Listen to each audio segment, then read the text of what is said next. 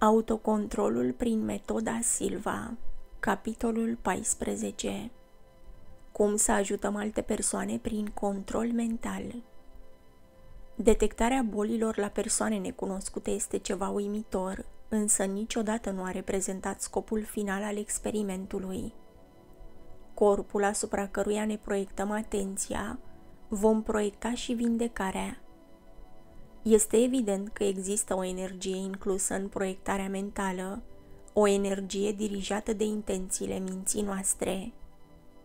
Dacă se schimbă aceste intenții de la colectarea informațiilor la vindecare, vom schimba și efectul energiei. Cum corelăm intențiile noastre cu această energie, astfel să se realizeze ceea ce dorim? Intenția în sine este ca și voința. După cum am spus în capitolul despre controlul obișnuințelor, voința în sine nu valorează prea mult. În timp ce detectăm anormalități prin vizualizarea lor, vizualizăm și ceea ce dorim, adică organismul respectiv fără anormalități. Aceasta este vindecarea clarvăzătoare. Este ceva simplu. În cele mai multe cazuri de vindecare pe care vrei să le rezolvi, nu este necesar să stăpânești tehnica de lucru la caz. Poți deveni ușor un vindecător clarvăzător eficient prin utilizarea ecranului tău mental pe care îl folosești pentru rezolvarea problemelor. De fapt, poți obține rezultate chiar în faza inițială de meditație și vizualizare.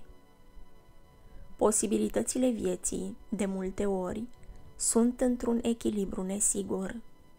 Un mic impuls poate schimba acest echilibru în direcția în care dorești tu. Câteodată însă există situații când s-a produs deja un dezechilibru și pentru atingerea stării de echilibru este nevoie de un clarvăzător cu mai multă experiență, ceea ce vei deveni.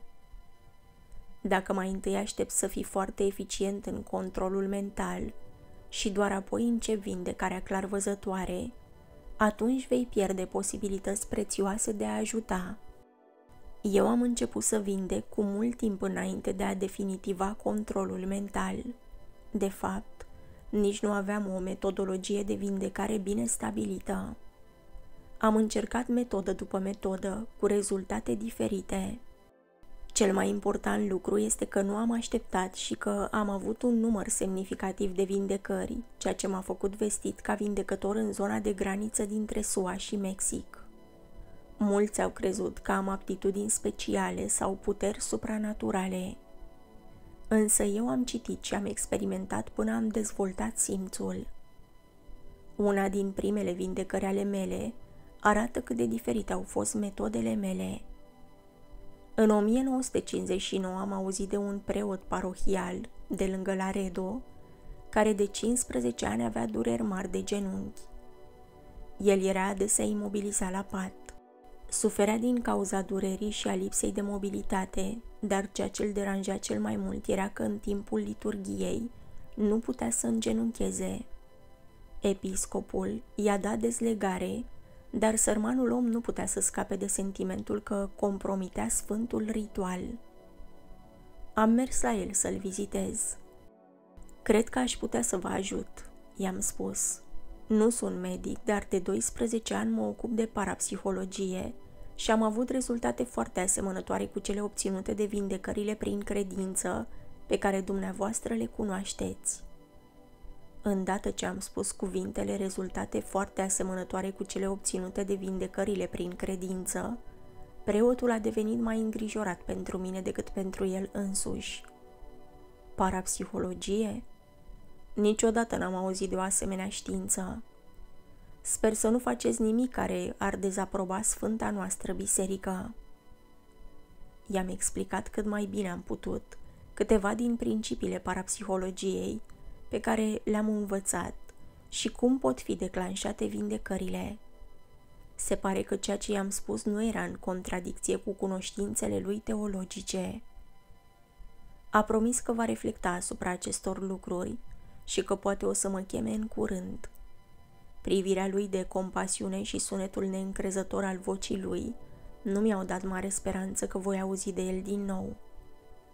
Știam însă că el se va ruga pentru mine, ca să fiu protejat de acele pericole amenințătoare, care, după părerea lui, erau atât de serioase că periclitau ce?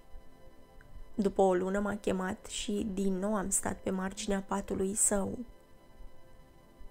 După cum știi, căile Domnului sunt ciudate.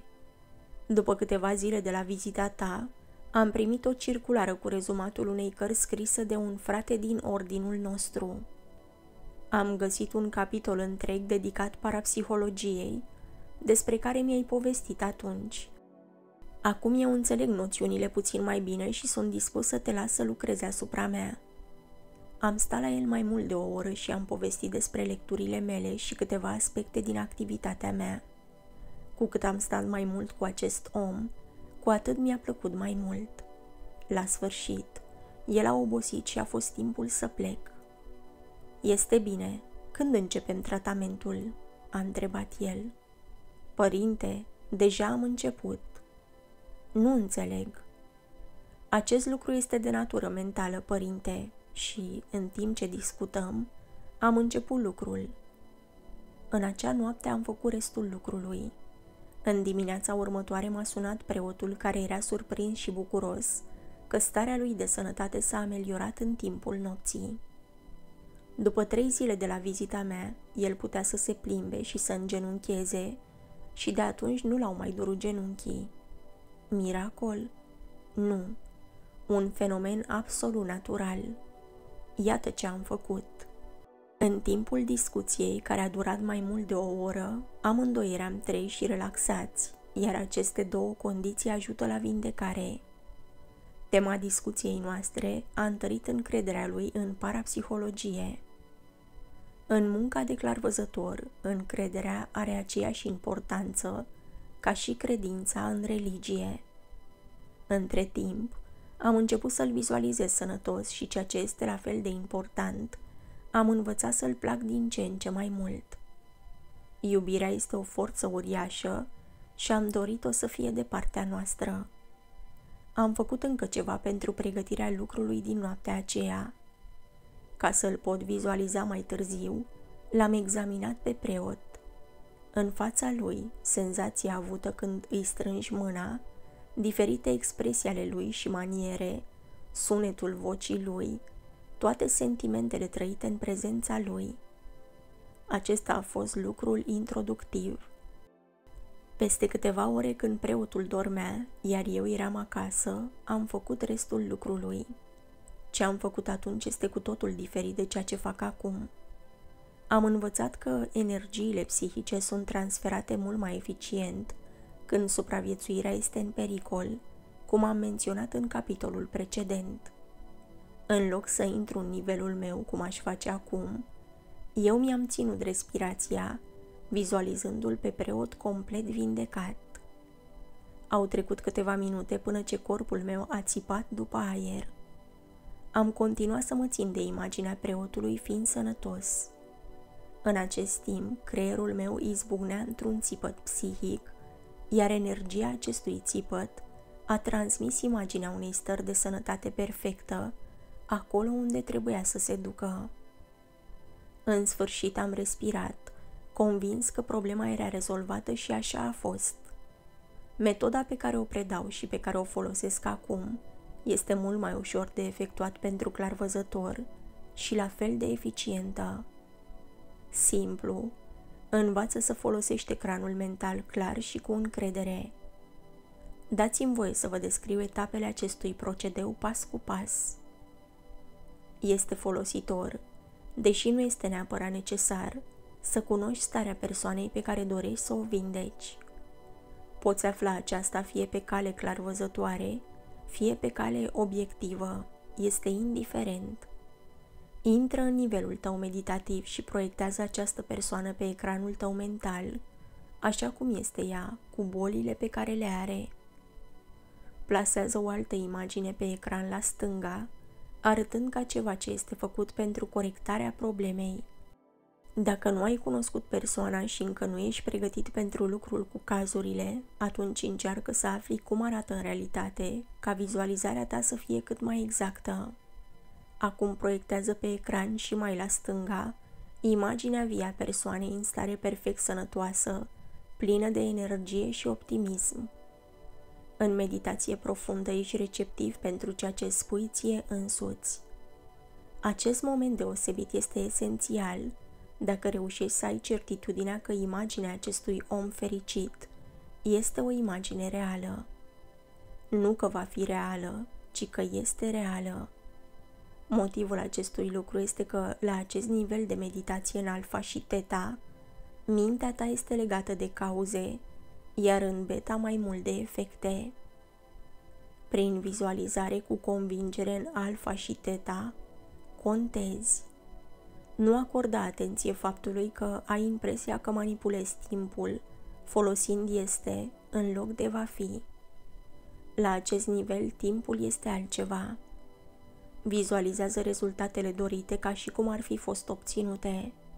Se pare că printre legile Universului există o carte a drepturilor care garantează tuturor, indiferent de nivelul cunoștințelor, indiferent dacă suntem deștepți sau proști, că putem lua parte în determinarea lucrurilor legate prin intermediul dorințelor, credințelor și așteptărilor noastre. Marcu arată în Noul Testament că acest lucru a fost spus mult mai frumos, acum 2000 de ani. Toate câte cereți, rugându-vă să credeți că le-ați primit și le veți avea. În timp ce vizualizezi această persoană perfect sănătoasă, va apărea un moment foarte plăcut când vei simți că ai făcut destul. Este plăcut pentru că este un simțământ de împlinire. Numără de la 1 la 5 ca să ajungi în beta. Te vei simți treaz și mai bine decât înainte. Cu cât vei exersa mai mult această tehnică, vor avea loc mai multe coincidențe minunate și vei crede mai intens, ceea ce în schimb va produce mai multe coincidențe minunate. Îndată ce ai învățat să folosești ecranul tău mental, poți începe declanșarea acestei reacții în lanț. Deși tehnicile de vindecare prin credință și pe cale psihică pot fi diferite, eu cred că principiile lor și rezultatele lor sunt aceleași. Ritualurile vindecării prin credință diferă de la o cultură la alta, dar au același efect dublu. Evocă un nivel profund al minții și întărește credința și așteptarea. Mulți vindecători utilizează metode extenuante, ei pierd energie și uneori slăbesc într-o singură ședință. Asta nu este necesar. De fapt, metodele controlului mental au efect opus. Odată ce am simțit sentimentul de împlinire, simțim elanul, nu mic, ci foarte puternic și, într-adevăr, ne trezim simțindu-ne mai bine decât înainte. Am găsit că vindecarea altora este bună și pentru vindecător. Mulți vindecători cred că nu se pot autovindeca. Unii cred că dacă ar încerca și-ar pierde puterile. Am demonstrat că acest lucru nu este adevărat. Mulți cred că este necesar să fie în prezență cu persoana pe care o vindecă pentru a-l atinge cu mâna. Pentru cei dintre noi care nu sunt nici medici licențiați, nici persoane oficiale bisericești, acest lucru este ilegal mai important este când e vorba de legi mai largi, nu este necesar. Vindecarea fără prezența bonlavului funcționează. Când vorbim despre acest lucru la cursurile de control mental, cităm adesea cazul unui slujitor, al unui centurion, pe care Hristos l-a vindecat de la distanță. Hristos nu l-a văzut pe slujitor, dar în relatările centurionului a aflat de suferința lui și slujitorul lui a fost vindecat în acea oră. O mică observație. Observați că în credința populară, când avem o dorință, când vedem stele căzătoare sau când stingem lumânările pe tort, suntem ademeniți să nu spunem ceva despre dorința noastră. Această taină este probabil ceva mai mult decât un joc copilăresc. Cred că aici se ascunde o mare înțelepciune Ținând dorința noastră, sau mai precis vizualizarea vindecării secretă, se pare că evităm risipirea energiei ei și poate că o și amplificăm. Din această cauză, eu și mulți dintre cei care predau sfătuim cursanții să-și țină pentru ei lucrul lor asupra vindecărilor. Când Hristos spunea, după o vindecare a sa, aveți grijă să nu afle nimeni. El nu dorea să se ascundă. El avea motive mult mai adânci.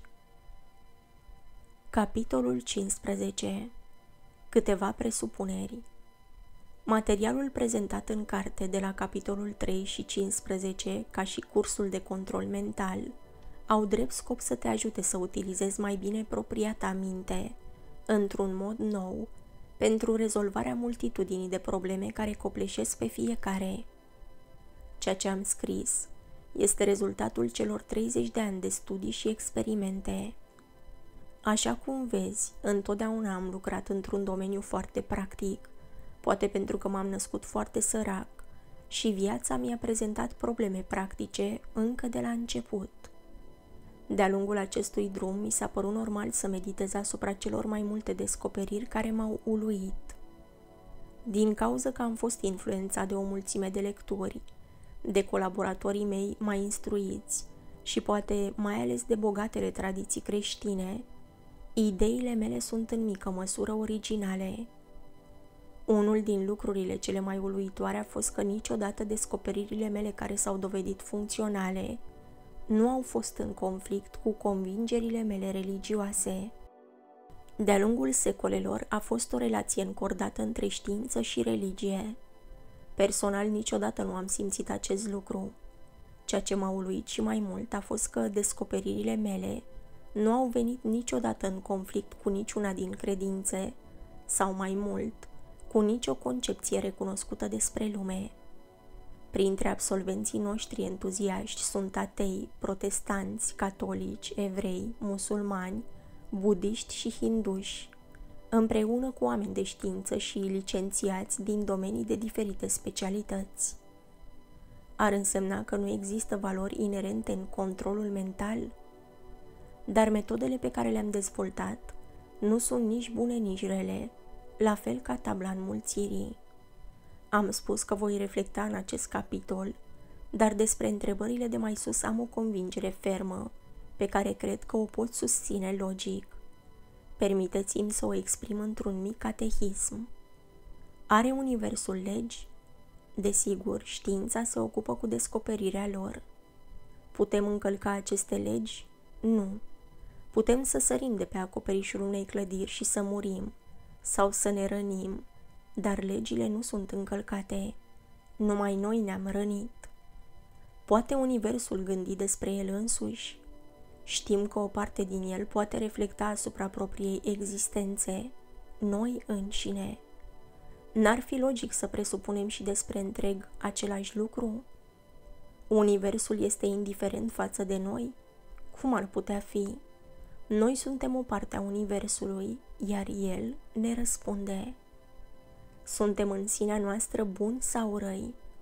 În meditație, când suntem în contact direct cu noi înșine, nu putem să facem niciun rău, dar suntem în stare de multe fapte bune. Dacă experiențele mele n-ar fi demonstrat valabilitatea punctului 5, eu și părerile mele despre realitate ar fi fost cu totul altfel. Cea mai bună definiție pe care am auzit-o despre realitate este ca un vis pe care îl împărțim cu toții. Avem doar cea mai vagă idee ce este într-adevăr. Ceea ce gândim, cum vedem lucrurile, este mai mult decât propriile noastre convingeri. Totul este doar energie. Diferența între culoare și sunet, între radiația cosmică și imaginea televizorului este frecvența sau ceea ce face energia și cât de rapid. De asemenea, materia este energie. Este o energie care face altceva, fiind în altă stare. Un lucru interesant despre energie, într-o lume a contrarilor, sus-jos, negru-alb, rapid-lent, energia nu are opozant. Aceasta din cauza că totul este energie, inclusiv tu și eu, precum și ce gândim, Gândirea creează și consumă energie, sau mai precis transformă energia. Acum poți vedea de ce gândesc eu diferențe între un gând și un lucru. Pot gândurile să influențeze lucrurile? Desigur, energia poate. Pot gândurile să influențeze evenimentele? Desigur, energia poate. Timpul este energie? Răspunsul la această întrebare este ipotetic, din cauza că timpul prezintă pentru noi atât de multe înfățișări. Noi credem că cunoaștem bine timpul, privindu-l într-un fel, dar dacă îl privim altfel, pare diferit. Ca să ne legăm șireturile de la pantofi sau să traversăm strada, ar fi bine să percepem timpul ca o trecere în linie dreaptă, din trecut prin prezent spre viitor. Trebuie să gândim în acest fel pentru a trece zilnic prin viață, la fel cum credem convențional că soarele răsare și apune, de parcă teoria lui Copernic s-ar fi dovedit a fi greșită. Din această perspectivă putem să ne amintim trecutul, să trăim prezentul și să privim nesigur în viitor. Din altă perspectivă, lucrurile stau altfel. În alfa și teta putem privi la fel de bine în trecut ca și în viitor. Lucrurile care vor veni își proiectează umbrele înainte, iar noi putem învăța să le vedem. Această capacitate este cunoscută sub denumirea de premoniție. Pe vremea când am câștigat la loteria mexicană era mult mai puțin recunoscută. Dacă în alfa și teta viitorul poate fi văzut aici și acum, atunci el trebuie să transmită înainte un fel de energie cu care putem să ne acordăm. Timpul trebuie să fie și el o formă de energie pentru că el trimite oriunde orice fel de energie. Acum câțiva ani, când mă ocupam de himnoză, am descoperit ceva foarte ciudat despre modul în care percepem timpul. Atunci am condus pe doi din copiii mei prin regresie și dacă schimbarea se petrecea brusc din prezent în trecut, ei se înclinau spre dreapta. La fel se întâmplă cu călătorii dintr-un autobuz care se oprește brusc. Călătorii alunecă în față. Copiii au simțit că se înclină spre dreapta atunci când au călătorit în trecut. Când au revenit în prezent, situația s-a schimbat și ei s-au înclinat la stânga. Multe din experiențele mele cu diferite persoane au confirmat aceste fapte. Mai târziu, când am trecut la meditația dirijată renunțând la himnoză, am dorit să învăț cum se poate realiza mișcarea în timp, înainte și înapoi. M-am întors către est, pentru că disciplinele orientale indică orientarea în acea direcție, dar orientarea spre est nu a avut nicio influență. Apoi am presupus că voi avea capacitatea de mișcare mult mai mare în timp, dacă luând în considerare cele observate în experiențele sub himnoză, voi pune viitorul în stânga mea, iar trecutul în dreapta mea. Pe această planetă soarele răsare la est și apune la vest. Dacă în timpul meditației mă întorc spre sud, atunci estul va fi în stânga mea, vestul în dreapta, iar eu voi fi orientat în direcția curgerii timpului pe planetă. Eu nu știu dacă am descoperit sau nu direcția în care trece timpul pe pământ. Ceea ce știu este că orientarea spre sud mă face să mă ghidez mai bine, în timp, și de asemenea pot să mă mișc mai ușor în timp. Vom trece acum la o problemă mai serioasă. În capitolele anterioare am amintit de câteva ori de inteligența superioară. Este oare un mod subtil cu care mă refer la Dumnezeu? Eu nu pot demonstra ceea ce voi spune. Trebuie să vorbesc cu credință. Răspunsul este nu. Inteligența superioară nu înseamnă Dumnezeu. Scriu cu majuscule aceste cuvinte cu tot respectul, dar ea pentru mine nu este Dumnezeu. Se pare că universul funcționează cu eficacitate incredibilă, fără cea mai mică pierdere. Atunci când pun un picior în fața celuilalt, nu pot să cred că una din preocupările lui Dumnezeu este să aibă grijă să nu cad. Nu este nici grija inteligenței superioare, este a mea. Am fost programat genetic să învăț să merg. Aceasta este munca lui Dumnezeu. Acum, regularitatea pașilor depinde numai de mine. Totuși, în viață apar situații mai aparte când am nevoie de o informație care nu poate fi obținută prin cele cinci simțuri pentru a lua o decizie. atunci eu apelez la inteligența superioară. Uneori am nevoie de un sfat de o importanță capitală. Atunci mă adresez lui Dumnezeu. Mă rog. Eu înțeleg diferitele nivele de inteligență ca o continuitate, începând de la materia neînsuflețită, trecând apoi la vegetale, la animale, la om, la inteligența superioară și apoi la Dumnezeu. Am stabilit științific căile de comunicare cu fiecare nivel, de la materia neînsuflețită la inteligența superioară. Am condus experiențele în condiții controlate, care au fost verificate prin repetare. Oricine urmează instrucțiunile acestei cărți sau urmează cursul de control mental, le poate reproduce. Iată ce înțeleg eu prin științific. Toate celelalte reprezintă reflectare și credință. Asta nu.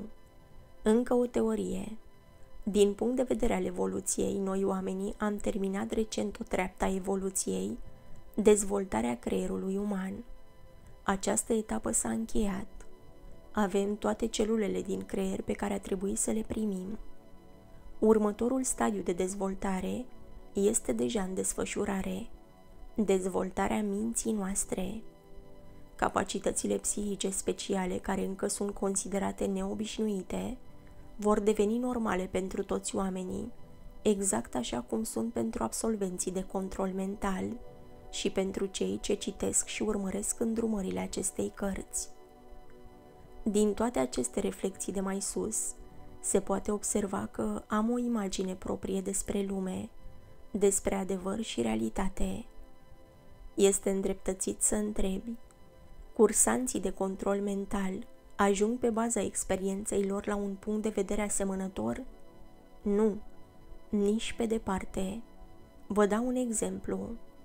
Un număr uimitor de mare din cei care practică controlul mental devin vegetariani. Colaboratorul meu apropiat, Harry, a devenit recent vegetarian. Eu însă savurez cu plăcere o friptură bună. Capitolul 16. Un psihiatru lucrează cu control mental. În capitolele anterioare, Silva a explicat controlul mental și a dat instrucțiuni detaliate cum îl poți pune în aplicare. Tu vezi în controlul mental cum sunt analizate nivelele foarte adânci ale conștiinței și te poți întreba, ca și mulți alții, dacă nu cumva există un pericol în cercetarea ta, poate pentru prima dată, a puterilor adânci ale minții tale. Silva și colaboratorii lui din conducerea organizației controlului mental arată că pe baza experienței de până acum, se poate spune că, față de avantajele antrenamentului, nu au fost evidențiate nici cele mai mici efecte negative colaterale, ca să folosim un termen medical. Cu alte cuvinte, aceasta înseamnă că până acum nu a ajuns la cunoștința lui Silva și colegilor săi, din partea absolvenților cursului, a niciunei probleme legate de sănătate. Un absolvent al controlului mental, un medic specialist, a examinat siguranța controlului mental pe bază de teste de aciditate. Este vorba de dr. Kenzie, un psihiatru și psihanalist remarcabil din Filadelfia, director al Serviciului de Consultații Psihiatrice, membru al Centrului Psihiatric din Filadelfia și un medic practician foarte activ. El se ocupă de asemenea de mult timp de yoga și de alte discipline care utilizează meditația, biofeedback-ul și de parapsihologie. Ca o parte a studiilor sale în acest domeniu, el a participat în anul 1970 la cursul de control mental. Am dorit să văd dacă ei învață într-adevăr clar viziunea, așa cum au susținut un număr din pacienții mei care au beneficiat de acest curs. M-am convins că ceva psihic se întâmplă și de atunci mi-am consacrat mult timp și efort pentru a investiga aceasta mai departe. Interesul pentru control mental a fost stârnit de două lucruri. Un comentariu al lui Freud făcut spre sfârșitul carierei sale și ceea ce s-a întâmplat la cursul de control mental. Freud a spus că cea mai promițătoare direcție pentru psihoterapie în viitor este mobilizarea spre energiile bolnavilor. Dr. McKenzie a observat în modul cel mai clar la participanții cursului de control mental că își utilizează energii despre a căror existență nu aveau cunoștință până acum. Dar am mai observat în plus și altceva la acest curs. Trei persoane din 30 erau agitate emoțional, iar la a patra persoană starea de stabilitate era sub semnul întrebării. Care putea fi cauza?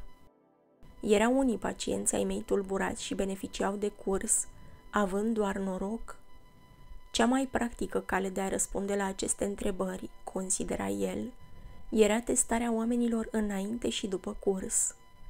Testul avea ca scop să scoată în evidență acele modificări ascunse care erau cele mai responsabile de vulnerabilitatea psihologică. Au început studiile împreună cu colegul său Lance Wright, profesor de psihiatrie la Universitatea Pennsylvania. În următorii patru ani și jumătate, 189 de bolnavi psihic au participat în mod voluntar la activitățile cursului de control mental. Pentru a face teste cât mai complete, ei s-au concentrat pe un studiu mai detaliat pe acei bolnavi din grup care erau psihotici, care aveau psihoză la limită sau care erau recuperați din stare psihotică.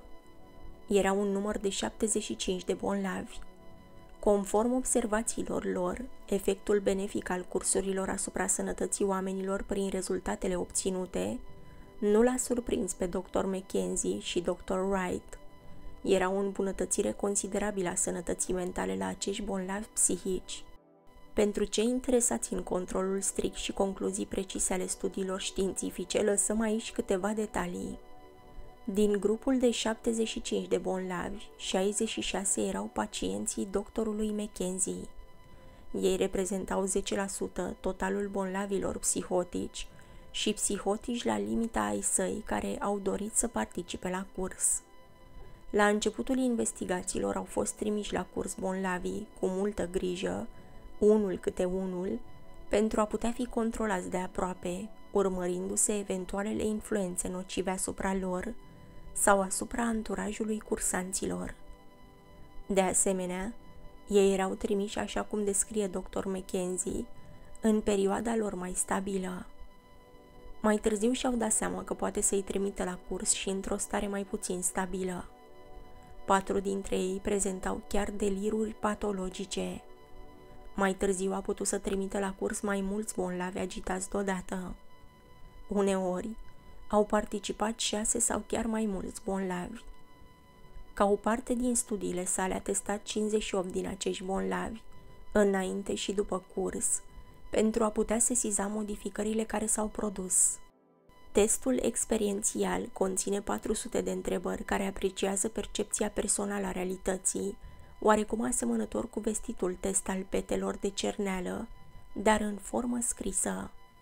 Diferențele dintre punctajul obținut înainte și după curs au fost impresionante. La 36 dintre bolnavi s-a remarcat îmbunătățirea spectaculoasă a percepției realității. La 21 dintre bolnavi rămâne aproximativ aceeași și doar la un singur bolnav s-a constatat o scădere. Persoana la care punctajul a scăzut era un bărbat de 29 de ani cu schizofrenie catatonică, care pentru prima dată în viața lui și-a întrerupt tratamentul medicamentos și a început să meargă la întâlniri cu fete. Din punct de vedere clinic, spunea dr. McKenzie, el a avut mai multă energie emoțională și a devenit mai optimist în urma antrenamentului. Totuși, întâlnirile l-au aruncat într-un conflict și au început să apară tulburări la două săptămâni după curs. Nu a avut însă nevoie de spitalizare. Acești bolnavi, desigur, erau sub tratament psihoterapic, mulți deja de un an sau chiar mai mult, ceea ce a dat doctorului McKenzie o deosebită șansă să observe schimbările clinice apărute după curs. Iată unele din remarcile sale. Un bărbat schizofrenic de trei ani își închipuia înainte că era sub comandă, trimisă telepatic să ucidă pe cineva. Din fericire, niciodată nu a găsit persoana corespunzătoare. În timpul ședințelor de tratament după curs, a fost capabil pentru prima dată să discute despre sistemul său delirant. Energia sa emoțională a devenit mult mai mare și a privit mai clar viața. Curând, s-a reîntors la studiile sale școlare și a obținut chiar trepte de doctorat. Capacitățile sale au fost direct legate de absolvirea cursului, a explicat dr. McKenzie. Dintre cei 28 de bolnavi care sufereau de diferite tipuri de depresie, de involuție psihotică, schizoafectivă și maniaco-depresivă, 26 s-au simțit mult mai bine după curs. Ceilalți doi, care prezentau o depresie accentuată, au avut remisiuni nu numai conform testului, dar erau în stare la fel cu ceilalți să lucreze asemenea probleme pe care înainte nu erau capabili să le rezolve. O femeie de 21 de ani era hotărâtă să se sinucidă, fiind într-un stadiu inițial al unei psihoze acute. L-a asigurat pe doctor McKenzie că nu va putea să o ajute și că oricum ea se va sinucide. Doctorul i-a propus să participe la un curs. La sfârșitul săptămânii, doctorul era absolut surprins. Femeia a reacționat mai bine decât mulți alți pacienți. A fost cea mai spectaculoasă remisie pe care am văzut-o vreodată. Femeia și-a găsit o nouă liniște, a devenit mai rațională și gândurile ei n-au mai luat-o razna. De asemenea, subliniez, a dispărut o mare parte din pesimismul său adânc. Într-un raport clinic, doctorii McKenzie și Wright spun Spitalizarea și dozele mari de medicamente n-ar fi putut o calma într-o asemenea măsură. A repetat cursul după două săptămâni și starea ei s-a îmbunătățit în continuare. Schimbările au fost spectaculoase. De-a lungul următoarelor șase luni, capacitatea ei de a-și controla starea patologică s-a îmbunătățit continuu. După un an, dr. McKenzie a considerat-o perfect recuperată din faza acută a bolii sale. Desigur, psihozele sunt tulburări mentale grave. Nevrozele sunt mai puțin grave. Dintre cei 189 de bonlavi, participanți la cursul de control mental, 114 sufereau de nevroză. Toți aceștia au beneficiat de asemenea de pe urma cursului. Rezumând observațiile lor clinice în lucrarea mai sus menționată, doctorii au scris Cei care au continuat să exerseze controlul mental după terminarea cursului au putut să schimbe viața în mod considerabil, dar și cei care n-au exersat în mod sistematic au putut să utilizeze tehnicile în timpul crizelor, atunci când erau obligați să facă față stresului sau trebuia să ia decizii importante. Toți au avut impresia de expansiunea minții, o revelație că pot să-și utilizeze mintea pe alte căi. Entuziasmul grupului a crescut spre sfârșitul cursului și mulți dintre ei au remarcat o creștere a energiei emoționale. La grupul celor agitați s-a observat de asemenea o schimbare clinică importantă. Numai la unul s-a remarcat, bonlavul de 29 de ani care a început să meargă la întâlniri, o ușoară indispoziție. Ceilalți au beneficiat mai mult sau mai puțin de aceste exerciții. Multe persoane cu efect plat, cu răspuns emoțional redus sau absent, au prezentat entuziasm pentru prima dată în viața lor. Părea că există o schimbare în energia emoțională după curs și o îmbunătățire a stării afective. Ei aveau o privire mai pozitivă asupra viitorului lor și unii dintre ei au înțeles mai bine procesele lor psihotice. Bolnavii cu deliruri patologice aveau în mod categoric mai puține crize delirante după exerciții. Ei erau mai relaxați și s-a redus anxietatea. Bolnavii au învățat să se bizuie pe propriile lor resurse, în înțelegerea problemelor lor, în tratarea lor și în rezolvarea lor și au fost capabili de a-și mări încrederea în sine. Fiindcă toți pacienții, în afară de unul din cei 189, au beneficiat de curs, Dr. McKenzie a tras concluzia drept care cursul este mai mult decât sigur și benefic pentru bolnavi. Poate deveni o parte integrantă a psihoterapiei. În prezent, el recomandă tuturor pacienților săi să urmeze cursul de control mental. S-a observat că la unii pacienți durata tratamentului a fost scurtată cu până la 2 ani, prin tehnicile controlului mental. Una din tehnici, controlul viselor, spunea el, poate foarte bine să se dovedească a fi o schimbare majoră în psihiatrie. Este o cale rapidă și de încredere pentru înțelegerea și rezolvarea problemelor.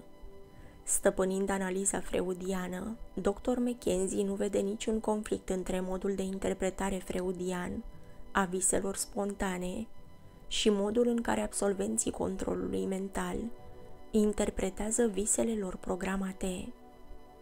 Dorința visului freudian devine dorința de a avea un răspuns, explică el. Însă avertizează că este necesar să ne asigurăm că o anumită dorință inconștientă din vis nu va înlocui dorința conștientă de a avea răspunsul. O bolnavă i-a telefonat că dorește să fie spitalizată din cauza unor dureri în torace și stomac. I-a spus că ar fi mai bine să se interneze într-o secție a spitalului de psihiatrie. Telefonul nu a fost o surpriză, se aștepta să-l primească. Starea ei mentală se înrăutățise. La spitalul de psihiatrie, dr. McKenzie a propus bolnavei să-și programeze visele pentru a primi răspunsuri la următoarele patru întrebări. Care este problema? Unde este? Care este cauza? Cum poate să scape de acestea? Iată visul bonlavei. Ea, soțul ei și cei trei copii ai lor mergeau cu mașina de-a lungul unei serpentine. A început să ningă, iar mașina a derapat de pe carosabil. Nu după mult timp, mașina a fost acoperită cu zăpadă. Soțul i-a propus să oprească motorul. Au venit 80 oameni din oraș pentru a-i scoate de sub zăpadă. Când au ieșit din mașină, cei trei copii dispăruseră. Un pic mai departe, drumul se termină brusc. Un alt drum se termină într-un unghi drept care cotea ușor, ducând de asemenea în alt drum, o autostradă, situată tot la un unghi drept. Ascultând reconstituirea acestui vis, dr. McKenzie a suspectat-o că descrie traseul tractului intestinal și a rugat-o să deseneze o hartă a acestui drum întortocheat. Bonlava a desenat și, desigur, destul de bine. Drumul urmă destul de precis traseul tractului intestinal uman, toate în proporție corespunzătoare. Mai mult, o examinare medicală a găsit o obstrucție care corespundea exact cu locul unde mașina derapase de pe drum, locul în care intestinul subțire pătrunde în cel gros. Cu alte cuvinte, visul acestei femei, ea nu avea nicio cunoștință de anatomie, nu terminase cursurile superioare ale școlii, a localizat exact obstrucția în acel segment de 2,5 cm a tractului de aproape 6 metri a tractului intestinal. Conform sistemului de simboluri al visului ei, zăpada era un produs lactat care a provocat durerile intestinale și a declanșat obstrucția. Sfatul soțului său de a opri motorul mașinii era din nou în sistemul de simboluri. Cel mai bun sfat care se putea da a însemnat oprește alimentarea cu combustibil a corpului, stop mâncării. Cei 80 oameni care i-au dezgropat din zăpadă reprezintă în limbajul visului degetele celor două mâini. Aceasta ar putea reprezenta vindecarea, punerea mâinii sau operația. Dispariția copiilor reprezenta împlinirea dorinței. Ea dorea să-i scoată din calea ei pentru a determina pe soțul ei să-i acorde mai multă atenție. Dr. McKenzie a transferat-o la un alt spital din cauza că, normal, o obstrucție intestinală necesită o intervenție chirurgicală de urgență. Cu toate acestea, înarmată cu înțelegerea visului său și cu cunoștințele obținute prin cursurile de control mental, a puterii minții asupra corpului, plus anticiparea operației, ea a început să-și rezolve obstrucția. O oră după diagnosticul pe baza visului, diagnosticul era confirmat medical în spital, dar Bonlava și-a eliberat obstrucția și intervenția chirurgicală nu mai era necesară. Chirurgul ei era uluit. Dr. McKenzie a aflat mai târziu că această femeie a mai fost operată de patru ori pentru ocluzie intestinală în ultimii 20 de ani și chirurgii au spus că de fiecare dată obstrucția era localizată în același loc. Părea că ea a învățat să-și creeze boala de fiecare dată când avea o necesitate psihologică pentru a-și crea boala. Mai târziu, a consultat-o pe fica ei de 18 ani care avea o problemă. Era gravidă, deși nu era măritată. Ce să fac?" a întrebat ea. Din nou, el a recomandat un control al viselor pentru găsirea răspunsului. În visul ei a apărut un bărbat. I-a spus, naște copilul, așteaptă trei ani, mărită-te, pe urmă mută-te din acest stat. Nu pot să-i dau un sfat mai bun, a spus doctor McKenzie. Procentajul divorțurilor la tinerii de 20 de ani este de 80%, așa că o așteptare de trei ani acasă este indicată. Bărbatul era persoana potrivită pentru fată, dar pentru a realiza o căsătorie reușită trebuia să plece de acasă departe de părinți.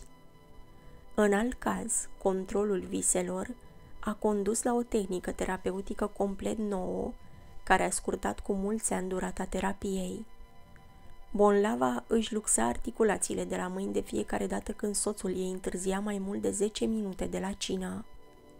Dr. McKenzie a încercat luni de zile să explice Bonlavei că atunci când ea se gândea că răspunde la întârzierea soțului ei, ea trăia acum experiența unui simțământ vechi din copilărie, când tatăl ei alcoolic nu venea acasă. Dacă ar fi înțeles acest lucru, femeia nu și-ar mai fi luxat articulațiile de la mâini, dar doctor McKenzie nu reușea să o lămurească. Femeia trebuia să facă un tratament psihoterapeutic încă doi ani, de două ore pe săptămână. Dr. McKenzie a sugerat să-și programeze un vis. Visul ei a fost un vis deosebit de creativ și problema ei s-a rezolvat peste noapte. Ea a visat că dr. McKenzie a înregistrat pe o casetă declarații foarte iritante. Ea ascultă această casetă acasă și înregistrează propriile ei reacții pe o a doua casetă. Apoi dădea cea de-a doua casetă doctorului McKenzie pentru interpretare. La fiecare din interpretările lui ea exclamă, O, oh, ce proastă sunt!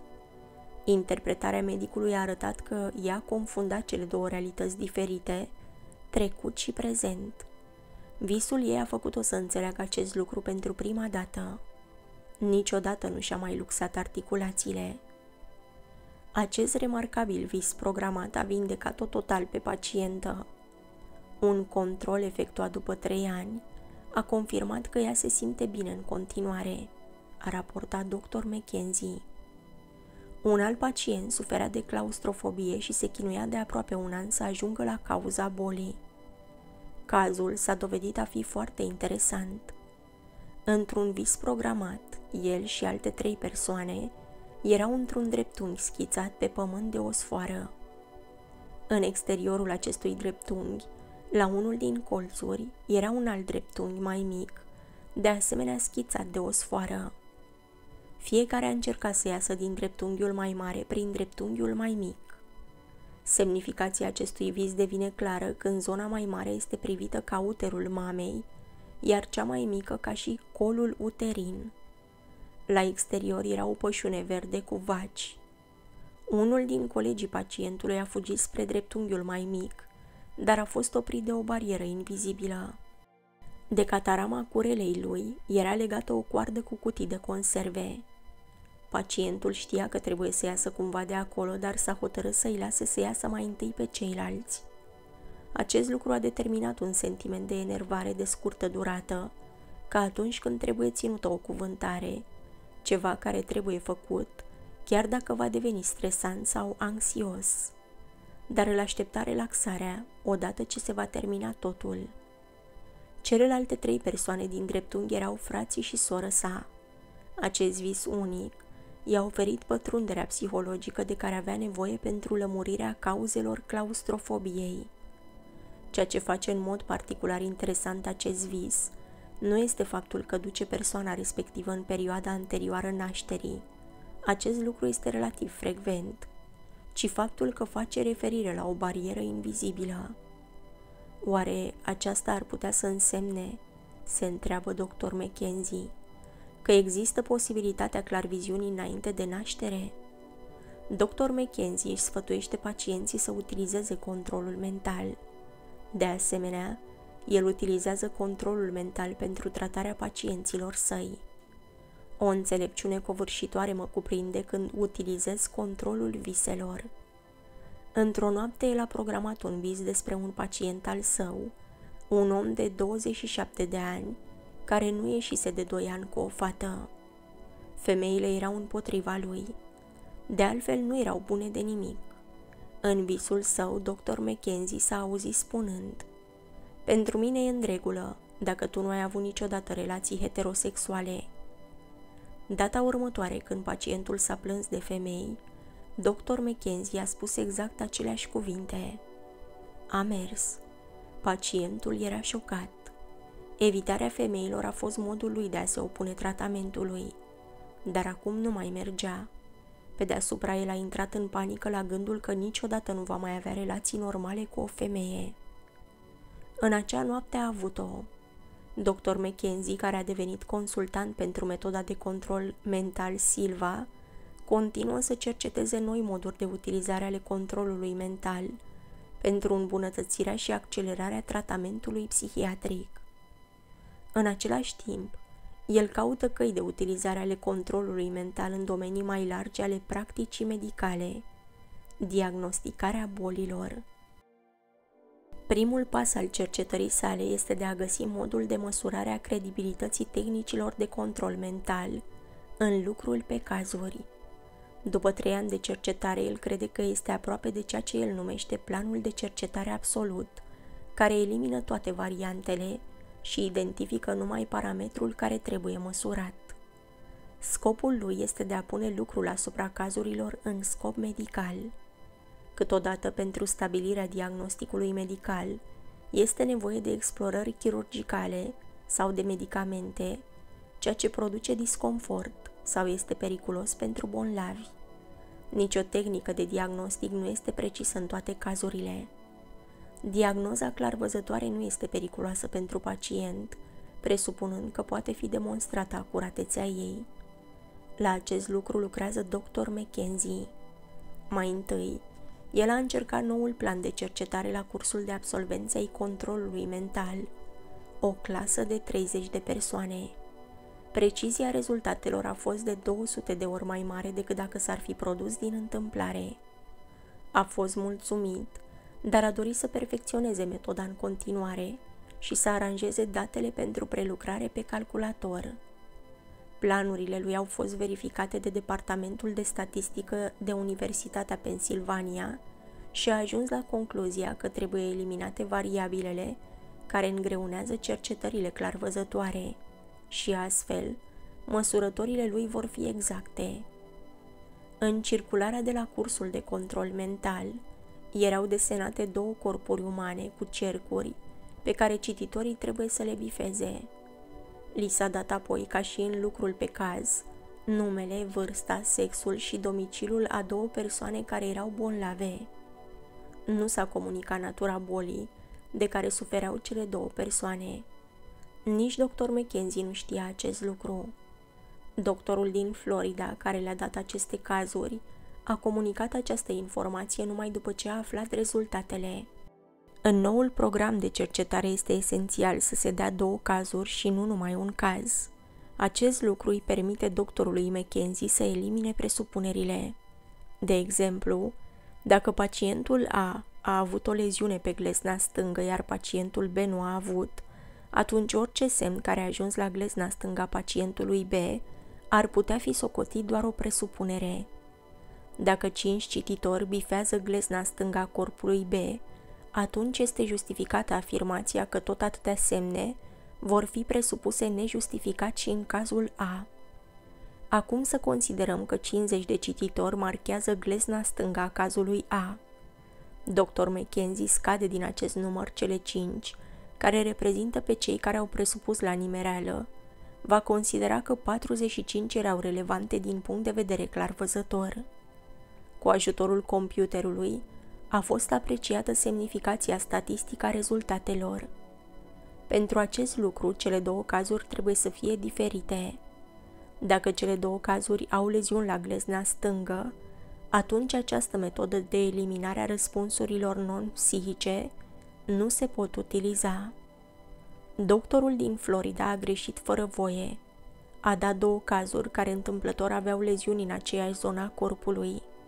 Doctorul McKenzie și-a schimbat planul și rezultatele le-a interpretat prin altă metodă. În loc să compare cazul A cu cazul B, a comparat cel mai mare număr de răspunsuri corecte cu cel mai mare număr următor de răspunsuri. Deși calculatorul i-a spus că rezultatele pot fi întâmplătoare, în proporție de abia 1 la 1 miliard, el totuși nu considera experimentul său relevant, din cauza că planul său de cercetare nu a putut fi urmat.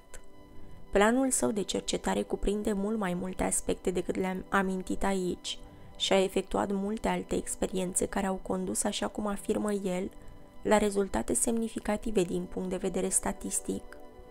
Proiectul său complet este în măsură așa de semnificativ în mod sigur vom auzi de el mai mult atunci când își va perfecționa tehnica în continuare. În locul unor simple cercuri folosite pentru însemnarea locului unei boli, le va da absolvenților controlului mental liste ale bolilor. În felul acesta pot să ajungă la un diagnostic specific. Aceste studii premergătoare, spune el, înseamnă un grad mare de semnificație statistică. Eu sunt pregătit, cred, să trag concluzii din ele. Este însă foarte multă muncă de detaliu. Dacă și investigațiile ulterioare se vor încheia cu rezultate asemănătoare, atunci va fi posibil că medicii să fie ajutați de clarvăzători în stabilirea diagnosticului lor într-un mod mult mai de încredere. De asemenea, aceste cercetări vor avea un mare impact asupra medicinii. Este însă prematur să vorbim cu certitudine acum, dar tind spre acest cel. Directorul cercetărilor al controlului mental, Wilfried Hahn, un biochimist, împărtășește speranța doctorului McKenzie. Din secolul al XIX-lea, de când cercetările psihice se efectuează cu metode științifice, întotdeauna am pus sub semnul întrebării factorii necontrolați, uneori necunoscuți. Chiar dacă dr. McKenzie obține un impact medical, așa cum afirmă, eu consider că este necesar să se facă cercetări suplimentare. Eu cred că el va obține într-adevăr un impact medical, utilizând metodele lui de cercetare. El trebuie să-și concentreze atenția numai asupra răspunsurilor psihice, eliminând factorii perturbatori, așa cum un chimist care caută în apă urmele unui element – poate să elimine apa și toate celelalte elemente, exceptând doar pe acela pe care îl studiază. În cea mai mare parte a timpului petrecut în această viață ne subapreciem. Dacă am petrece numai jumătate din acest timp gândindu-ne cum să biruim în viață, atunci ne-am dat seama că suntem mai puternici decât credem. Citat din revista Chicago Tribune după actrița cântăreață Carol Lawrence – ea s-a înscris la cursul de control mental la recomandarea unei alte cântărețe, absolventa acestui curs. Într-adevăr, mulți dintre noi sunt legați de idei limitate referitor la cine suntem și ce suntem în stare. În curând, vei trăi bucuria distrugerii acestor limite și vei găsi o nouă libertate. Când vezi de ce ești capabil, încrederea în tine va crește. În acest domeniu s-au făcut multe studii. Ele se referă la grupuri mari de persoane fără probleme speciale, precum și la grupuri cu probleme de subapreciere a propriei persoane, studenți, alcoolici, drogați, prizonieri și săraci. Mai întâi să analizăm studenții. Cursurile de control mental s-au predat în 24 de universități, 16 licee și 8 școli generale, adesea figurând în planul de învățământ am putea aștepta ca rezultatele obținute să fie diferite. Pentru că același curs este predat în diferite școli, la studenți și elevi de diferite vârste și diferite condiții sociale și culturale. Dar nu este așa. Rezultatele sunt atât de uniforme, încât acum putem afirma cu siguranță că ele se pot prevedea.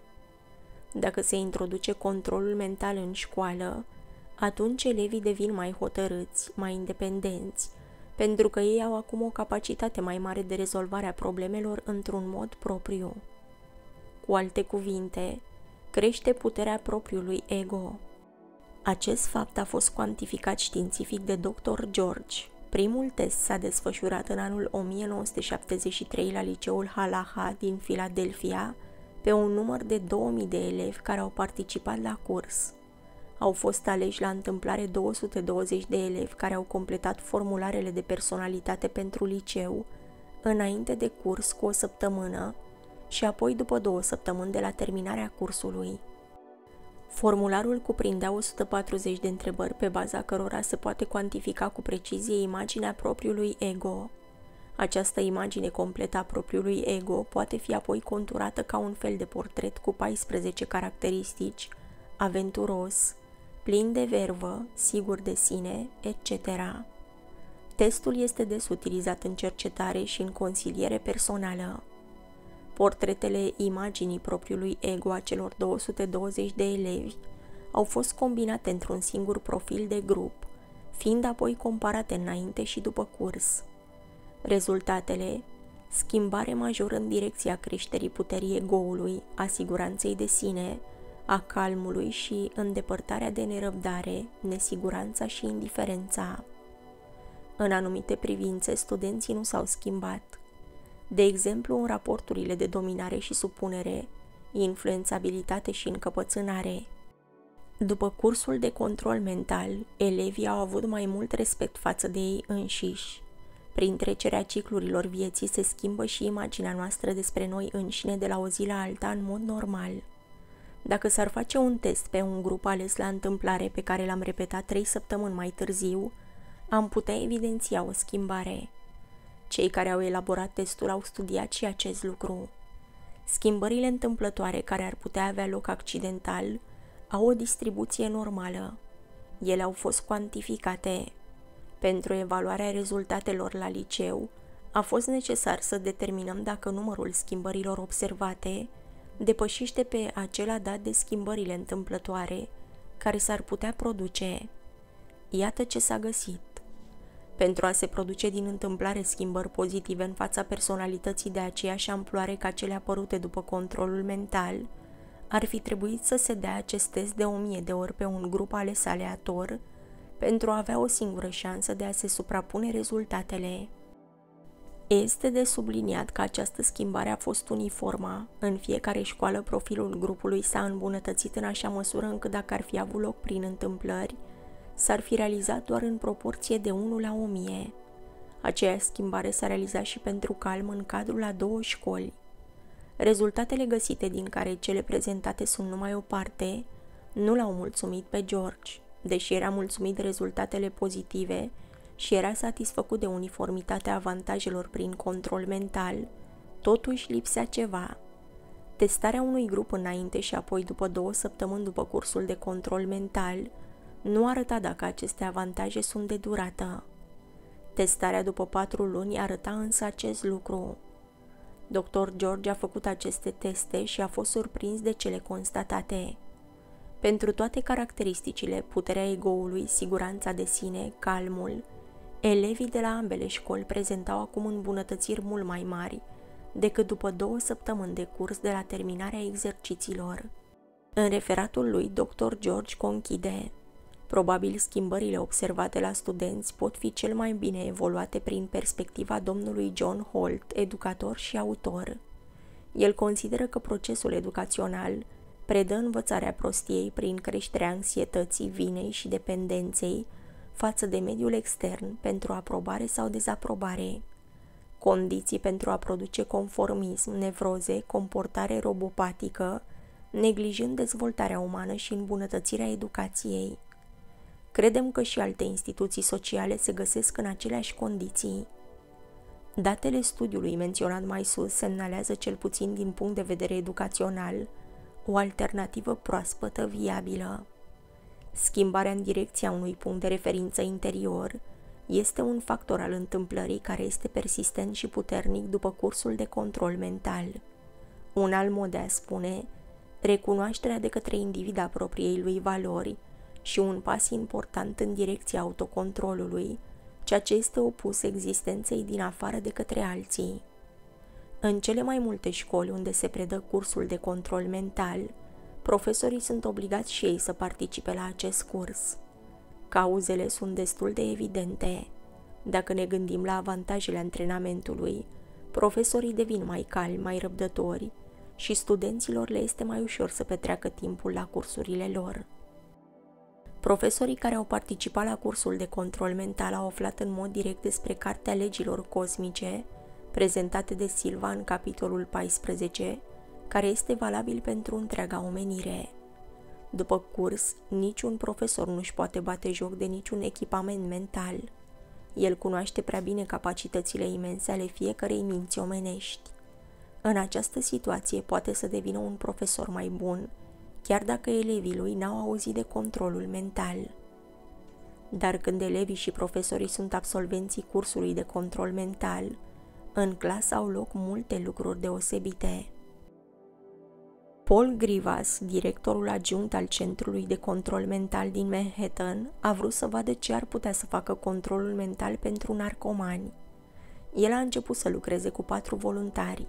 Doi din ei luau metadonă, iar ceilalți doi heroină. Primii doi au găsit cursul ușor, dar n-au renunțat la metadonă. Metadona creează o dependență puternică. Ea este utilizată în multe programe de dezintoxicare la heroină. Renunțarea la metadonă este fizic foarte dureroasă și durerile sunt atât de mari încât spun narcomanii că nu s-au putut concentra la exercițiile de control mental. Un bolnav care lua heroina a avut un scandal în familie în prima zi a cursului și s-a retras. Cel care a rămas la curs a reușit să se dezintoxice, să se elibereze de droguri câteva luni după curs. Mai târziu, el i-a telefonat domnului Griva, spunându-i că din nou ia heroină. El a dorit să reia cursul.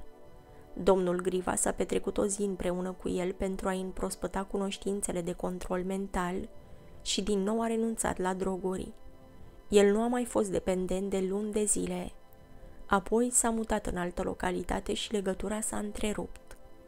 A doua încercare de a ajuta drogații prin control mental – s-a făcut în cadrul unui program special în Bronx, cu 18 oameni toți drogați.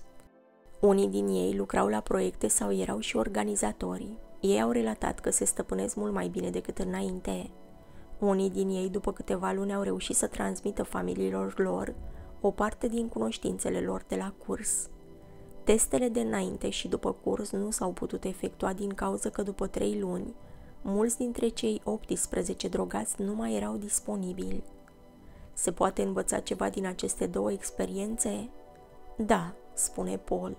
Deși nu există încă dovezi statistice, experiențele ne indică două lucruri. Primul, în cazul drogaților, nu este indicat a se intra în viața drogaților numai printr-un curs de control mental de 48 de ore, lăsându-i apoi să lucreze singuri.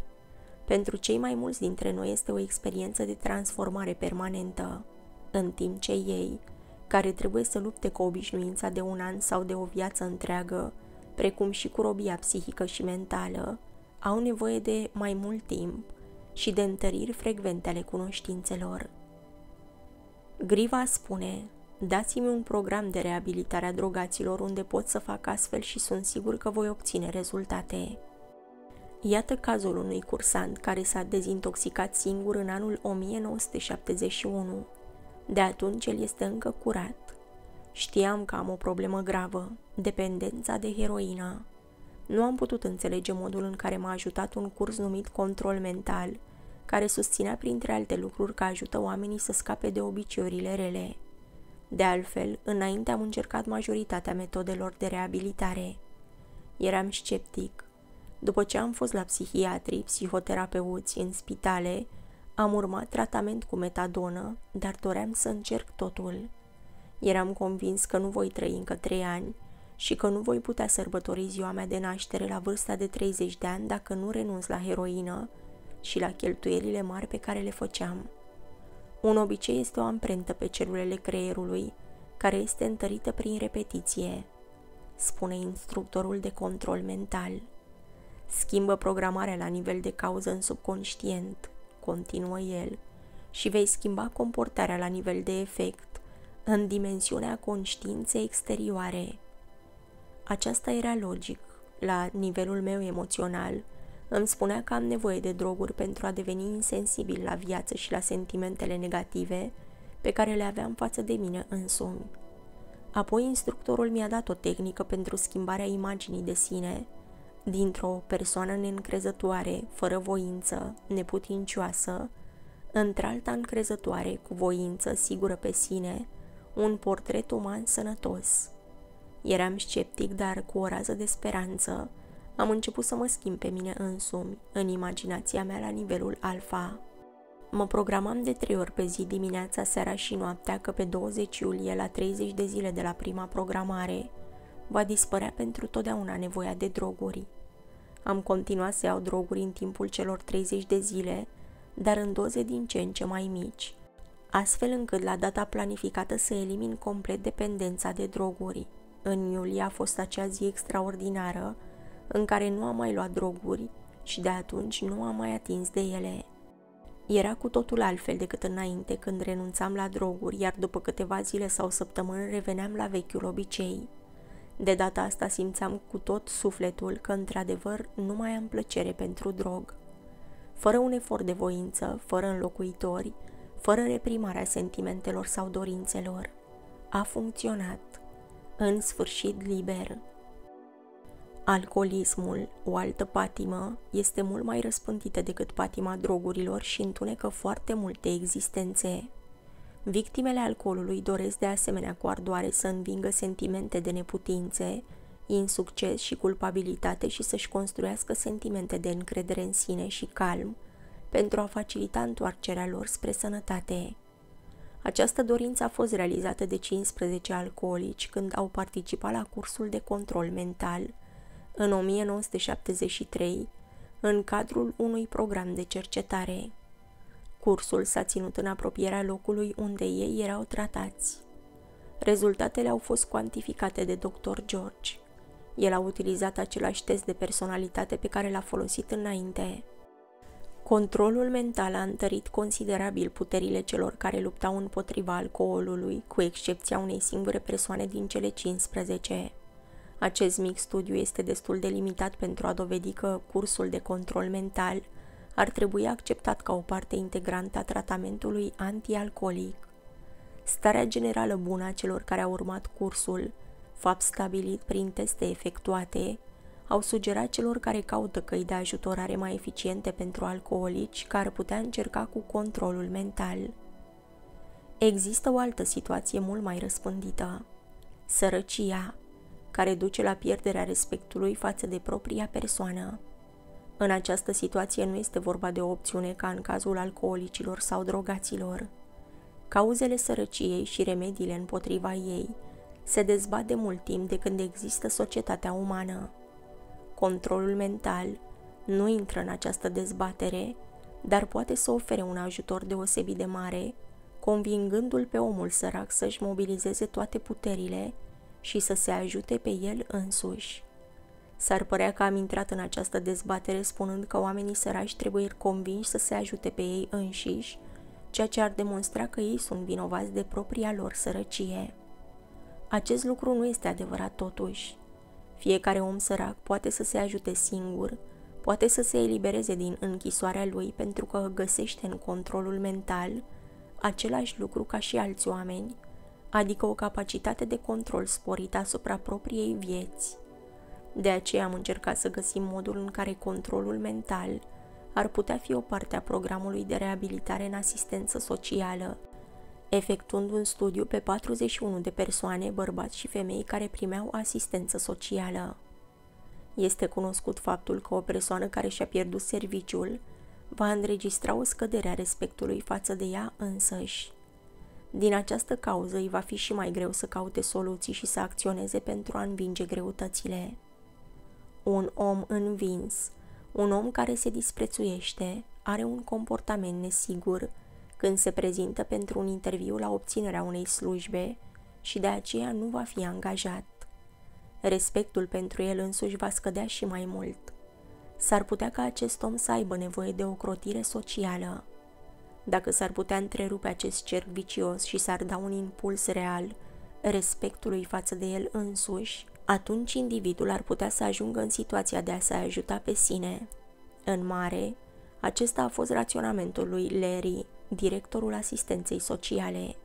El a făcut cursul și știa ce rezultate poate să obțină. Nu știa sigur dacă rezultatele ar putea fi măsurate și cum s-ar prezenta aceste măsurători.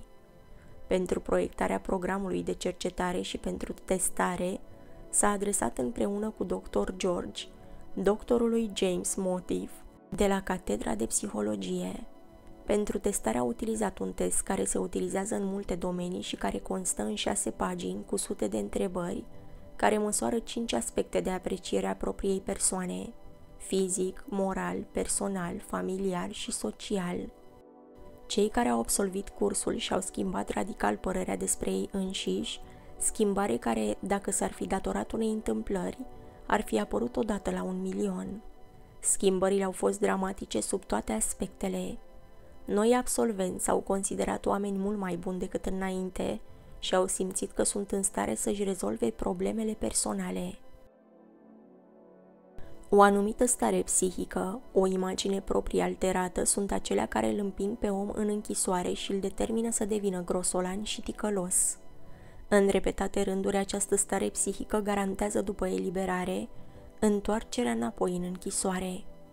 Controlul mental poate să dea deținutului acea libertate pe care ne-o dă nouă tuturor. Dărmarea acelor bariere mentale care se prezintă pentru mulți din noi cei de afară, sub formă de dureri de cap, ulceri, insomnii, insuccese în viață, iar pentru deținuți ca zidurile celulei și gratii. Controlul mental a fost aplicat mai puțin în închisori și în cazurile în care s-a utilizat pe deținuți, s-a constatat că poate să creeze un mediu mai puțin dur. Timpul petrecut în închisoare nu înseamnă doar ore lungi și pustii pe care legea le-a furat din viața individului, ci o parte înbelșugată a vieții însă, ore de dezvoltare și de descoperire a propriei persoane. Controlul mental nu poate schimba închisoarea într-un locaș fericit, dar o poate transforma într-un loc mai civilizat în care să poți trăi.